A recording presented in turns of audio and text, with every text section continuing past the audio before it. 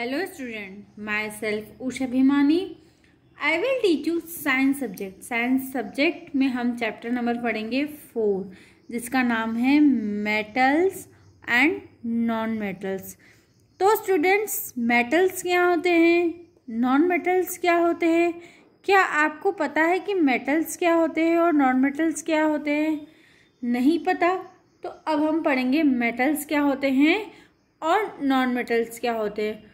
तो so students जो metals uh, होते हैं आपको पता है हमारी डेली लाइफ में हम कुछ चीज़ें मेटल्स की होती है जैसे मेटल की चूड़ियाँ होती है या मेटल के यूटेंसिल्स uh, होते हैं तो ये सब क्या होते हैं? मेटल्स होते हैं और नॉन मेटल्स हम इस चैप्टर में पढ़ेंगे। तो हम अब चैप्टर पढ़ना स्टार्ट करते हैं। There are more than one hundred elements known has for far. आपने यहाँ पर, अपने यहाँ पर हमने सौ एलिमेंट से ज़्यादा भी बहुत सारी चीज़ें पढ़ी। एलिमेंट्स क्या होते हैं? बहुत सारी वस्तुओं के बारे में हम लोगों ने पढ़ा है। The earliest non metals, known to man are carbon and silver. जो हमारे नॉन मेटल्स थे, वो हमारे किसके रूप में थे? गैसेस के रूप में होते हैं जैसे कि कार्बन और sulphur some of the, these elements behave in different form with that of different elements. जब कुछ elements किसी और एलिमेंट से मिलते हैं तो वो कुछ और बनाते हैं। जैसे कि अगर हाइड्रोजन मिला किससे? वाटर से। सॉरी ऑक्सीजन मिला वाटर से। तो हमको क्या मिलेगा? हाइड्रोजन मिलेगा। तो ये इसमें क्या हो रहा है? एक एलिमेंट, एक चीज़ दूसरी चीज़ से मिल रही है तो कोई और चीज़ प्रोड्यूस हो रही है। The elements can be classified according to the behaviour अब जो चीज़ें रहती हैं, वो उनका जो अलग अलग बिहेवियर अलग अलग उनका नेचर होता है। On the basis of this properties all elements are divided into two main उसके अकॉर्डिंग जो हमारे दो एलिमेंट्स है वो डिवाइड किए गए हैं। फ़र्स्ट है मेटल्स और सेकंड है हमारे नॉन मेटल फ़र्स्ट क्या है हमारे मेटल और सेकंड हमारा क्या है non metals but there are also certain elements which have some properties of metal and some of non metals लेकिन कुछ ऐसे एलिमेंट्स होते हैं जिनकी प्रॉपर्टीज़ जिनकी चीज़ें किससे मिलती हैं? मेटल से भी मिलती हैं और नॉन मेटल से भी मिलती हैं, जिसको हम क्या बोलेंगे? मेटोलॉइड्स क्या बोलेंगे हम? मेटालॉइड्स अब हम पढ़ेंगे ऐसी कौन कौन सी चीज़ें होती है? एंटीमोनी एरासैनिक और टेलीरियम तो एंटीमोनी क्या होती है? आपको पता है एंटीमोनी का मतलब क्या होता है? तो अपन जो आँखों में सुरमा लगाते हैं, उसको क्या बोलते हैं? एंटीमोनी और टेलीरियम का मतलब क्या होता है? जो सिल्वर एक सिल्वर जैसे हमारा फॉइल पेपर होता है ना सिल्वर का, जिसमें हम लोग रोटियाँ वगैरह ये सब लपेट के रखते हैं तो उसको हम क्या बोलेंगे? Tele tellurium metals and non metals are use for making tools अब जो मेटल्स है और जो नॉन मेटल्स है, हम उससे बहुत सारी चीज़ें बनाते हैं, जैसे मशीन हुआ ऑटोमोबाइल हुए, कार हुए बसेस हुए हाउस हुई ज्वेलरी हुई और यूटेंसिल यूटेंसिल मतलब क्या होता है? बर्तन. चीज़ें कैसे बनती है? मेटल प्लस नॉन मेटल से। तो on the basis of chemical reaction metal are the elements which form the positive icon by losing electrons मतलब जो मेटल्स की हमेशा क्या रहती है? पॉजिटिव आइकन्स पॉजिटिव का साइन कैसा रहता है? ऐसा। तो हमेशा जो मेटल का साइन क्या रहता है? पॉजिटिव और वो मतलब किसी भी चीज़ इलेक्ट्रॉन्स को छोड़ता है। अब इलेक्ट्रॉन्स क्या होते हैं? तो कुछ चीज़ें होती है जो हमको साइंस में याद रखनी पड़ती है। जैसे कि हमारे मान लो कि जो कुछ इलेक्ट्रॉन्स है आ, वो क्या करता है? लूज करता है। कुछ इलेक्ट्रॉन्स उसके फॉर्म में होते हैं नंबर्स के फॉर्म में होते हैं उसको लूज करता है। और नॉन मेटल्स क्या करते हैं? ऐसे एलिमेंट जो काय की शेप में होते हैं नेगेटिव शेप में होते हैं लेकिन वो मेटल से गेन करते हैं, लेते हैं, किसको लेते हैं? कुछ नंबर के फॉर्म में इलेक्ट्रॉन्स होते हैं, उसको लेते हैं। अब यहाँ पर आपको कुछ फ़िज़िकल प्रॉपर्टीज़ दे रखी है और कुछ हमको कुछ हमको केमिकल प्रॉपर्टीज़ दे रखी है। किसकी दे रखी है? मेटल्स और नॉन मेटल्स की। तो ये बता रहे हैं फ़िज़िकल प्रॉपर्टीज़ में क्या क्या इंक्लूड होता है? फ़र्स्ट होता है, उनकी जो स्टेट रहती है वो लशरस लशरस मतलब शाइनी शाइनिंग वाली रहती है। कुछ ना कुछ कलर्स रहता है, वो हार्डनेस रहती है मेलेबिलिटी रहती है डक्टिलिटी रहती है थर्मल कंडक्टिविटी इलेक्ट्रिक कंडक्टिविटी और सोनोरिटी अब हम इसको एक ही करके पढ़ेंगे। अब सबसे पहले आता है फ़िज़िकल स्टेट में हमारा metals all metals are solid at room temperature जो सारे मेटल्स होते हैं, वो किसके फॉर्म में होते हैं? सॉलिड सॉलिड कैसे होता है? सॉलिड का मतलब क्या होता है कि टफ के फॉर्म में होते हैं। जैसे मर्क्यूरी हुआ गैलीलियम हुआ फ्रेंचिशियम हुआ सेशियम हुआ और रेबिडियम हुआ आर ओनली द मेटल्स जो किसके फॉर्म में होते हैं? लिक्विड फॉर्म में होते हैं और बाकी सब क्या होते हैं? हमारे सॉलिड के फॉर्म में होते हैं। अब उसी तरह non metals almost non metals are solid और गैस के रूप में होते हैं। जो नॉन मेटल्स होते हैं, वो काय के फॉर्म में होते हैं। सॉलिड या तो गैस के रूप में होते हैं। लेकिन सिर्फ़ एक ही ऐसा मेटल है ब्रोमाइन जिस, जो किसके फॉर्म में होता है? लिक्विड के फॉर्म में होता है। अब हम पढ़ेंगे लशरस तो लशरस क्या होते हैं? मेटल्स लशरस मतलब होता है शाइनिंग तो जो कुछ मेटल्स रहते हैं, उनके ऊपर क्या करते हैं, वो शाइनी जैसा सरफेस बना लेते हैं, जिसको हम क्या बोलेंगे? लक्षरस. ठीक है?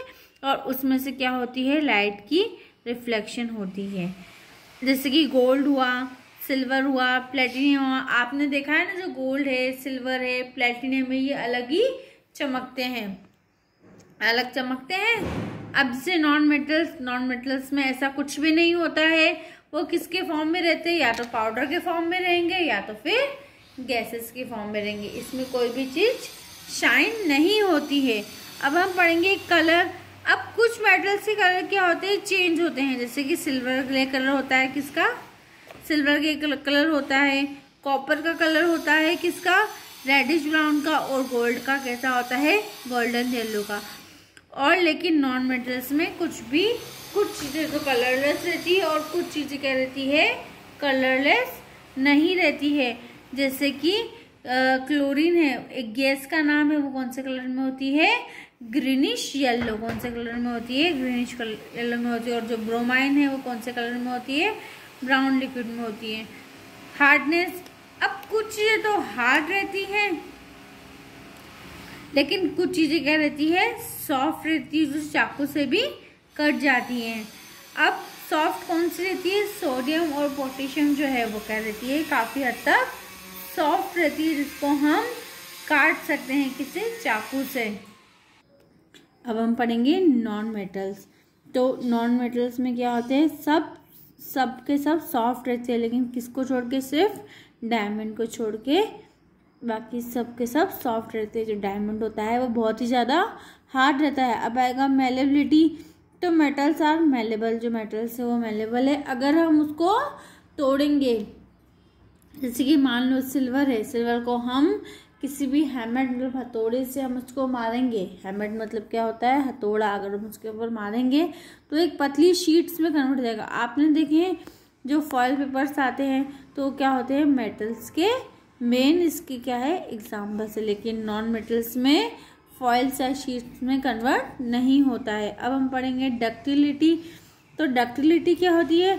Metals can be drawn into wires तो मेटल से हम उनको वायर्स में कर सकते हैं। जैसे जो गोल्ड और सिल्वर है, उसकी बहुत ज़्यादा हाईएस्ट डक्टेड रहती है। कम से कम हंड्रेड के जी ऑफ़ स्लोर उसमें से जो हमारा हंड्रेड के जी का जो सिल्वर के जो वायर्स रहेंगे, वो हम कितने तक दूर तक ले जा सकते हैं? टू हंड्रेड मीटर्स तक दूर ले जाते, लेकिन नॉन मेटल्स में ऐसा कुछ भी नहीं होता है। अब हम पढ़ेंगे कंडक्टिविटी। तो जो मेटल्स है, वो क्या है? Good conductor of heat and electricity है, उसमें से हीट जो है, वो पास हो सकती है, लेकिन नॉन मेटल्स में हमारी जो हीट है, वो पास नहीं हो सकती। इसलिए इसको क्या बोलेंगे? Poor conductor of electricity. अब हम पढ़ेंगे सोनर, सोनोरिटी। तो सोनोरिटी क्या होता है?